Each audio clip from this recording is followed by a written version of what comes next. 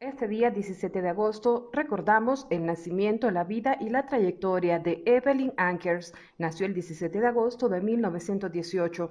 Falleció a la edad de 67 años el 29 de agosto de 1985.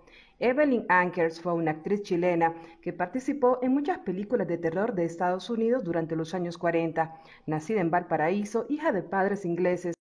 A finales de los años 20 se repatrían a Inglaterra, en donde comenzó su interés por la actuación.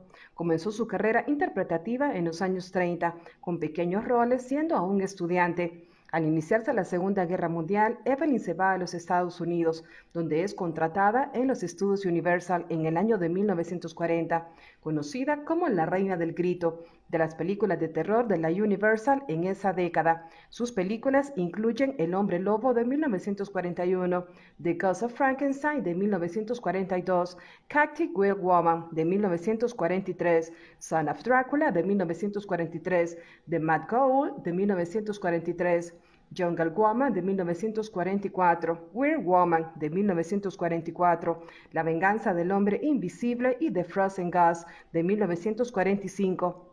Ankers hizo más de 50 películas entre los años de 1936 y 1950. Luego se retiró del cine para ser ama de casa.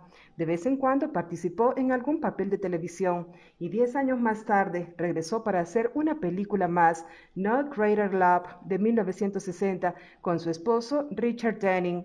Evelyn Ankers murió de cáncer de ovario a los 67 años el 29 de agosto de 1985 en Maui, Hawái. Fue parte de la vida y la historia de Evelyn Ankers, recordando este día 17 de agosto la fecha de su nacimiento.